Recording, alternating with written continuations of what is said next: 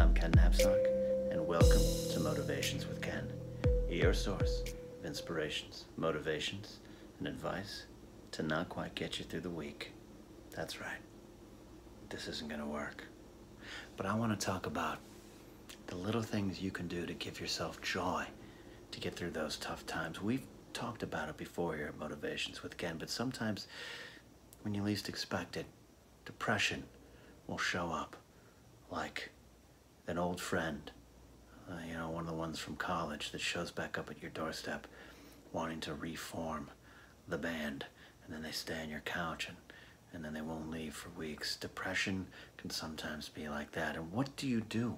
How do you get through those dark times when that overwhelming sense of dread grabs onto you like an eagle with its talons into its prey? How do you survive? I say it is the little things. The little things in life. That's what we celebrate here at Motivations with Ken.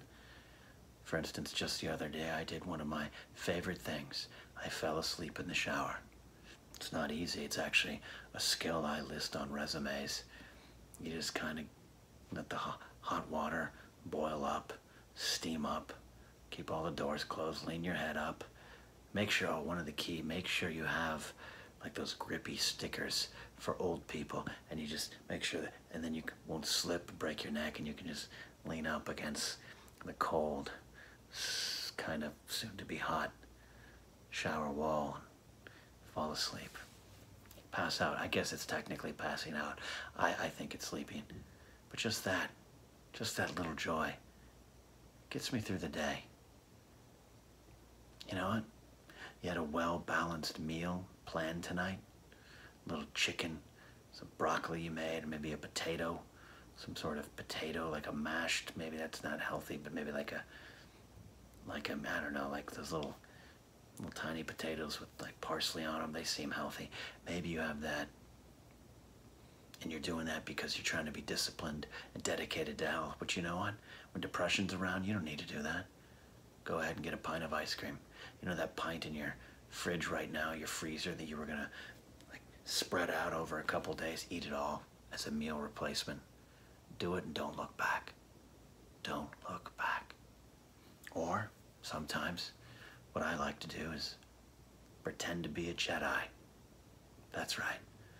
I put on this cape, I put it over my head, and I walk around my house and pretend to be a Jedi helping the galaxy. Honestly, I do it.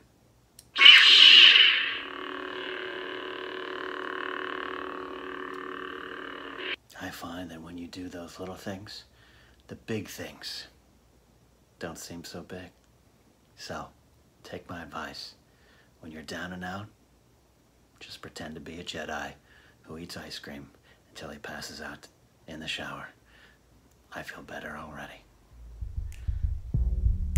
What's happening?